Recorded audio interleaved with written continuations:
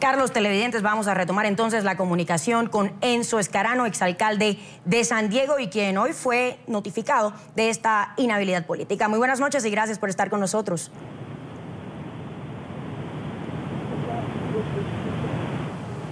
Señor Escarano.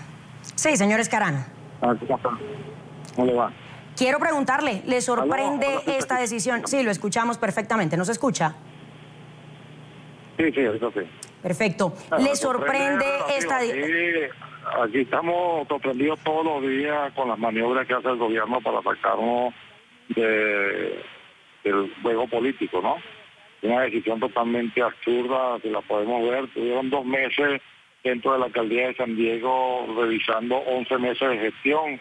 De la gestión mía, como no hallaron absolutamente nada fuera de orden, todo, tuvieron la cuenta muy clarita, el, el controlador no pudo ubicar nada para mi inhabilitación, entonces lo que hizo fue remitirse a la sentencia cuando me destituyeron, que me metieron preso institucionalmente ellos, y alegan de que yo hice mi declaración jurada fuera de tiempo. Para nadie es un secreto, si estoy privado de libertad, no tengo acceso a internet, no podía hacer mi declaración jurada.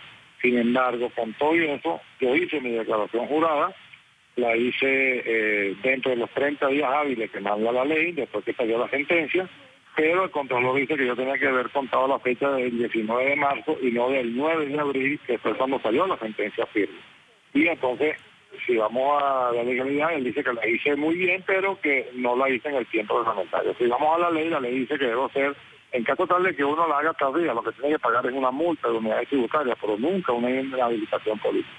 Pero él dice que, bueno, como eh, es una medida preventiva, entonces la medida preventiva es sacarme en estos momentos, inhabilitarme por 12 meses mientras se hace el, proceso de investigación.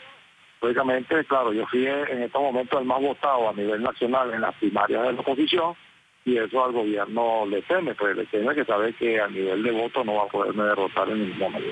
Ahora, señor Escarano, usted ha indicado a través de las redes sociales, específicamente a través de Twitter, que apelará esta decisión, pero confía en que esto tal vez tenga algún éxito, algún fruto, cuando vemos y cuando lo escuchamos a usted justamente decir que el chavismo estaría afianzando esa estrategia para sacar de la contienda a sus opositores.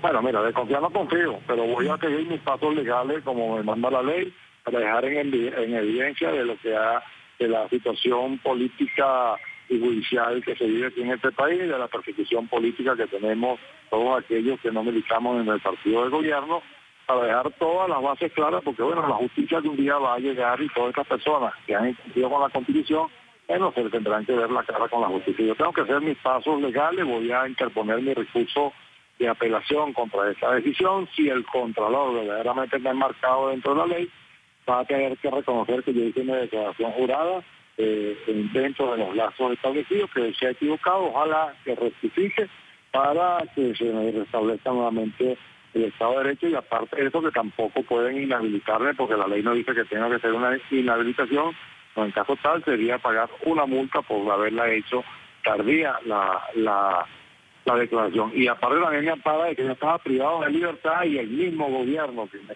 tenía en una cárcel militar no permitía el acceso a, mi persona a poder hacer una declaración si fuera el caso. Pero es que este no es el caso. El caso es que yo hice mi declaración en el tiempo establecido, pero sin embargo, bueno, el gobierno persiste o el contador persiste, bueno, en cumplir instrucciones de sacar de la vía electoral a cualquier candidato que no le puedan ganar con votos, como es el caso mío en estos momentos, que bueno, fui, como te dije anteriormente, el candidato más votado a nivel nacional en las primarias de la oposición. Señor Escarano, eh, su caso no es el único, también existe el de María Corina Machado, candidata de la Mesa de la Unidad Democrática, el exalcalde de San Cristóbal, Daniel Ceballos. ¿Qué se ha dicho a lo interno de la Mesa de la Unidad Democrática? ¿Van a seguir en la contienda a pesar de esa inhabilitación?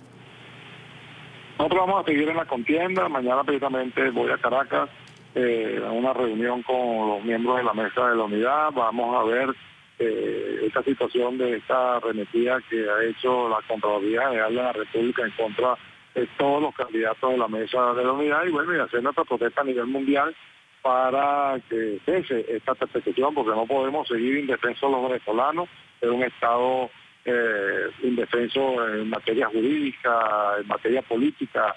Lamentablemente aquí no se cumple la ley, se viola la constitución a cada momento y que lamentablemente el, mundo entero debe eh, encender las alarmas de lo que está sucediendo en momento aquí en el país.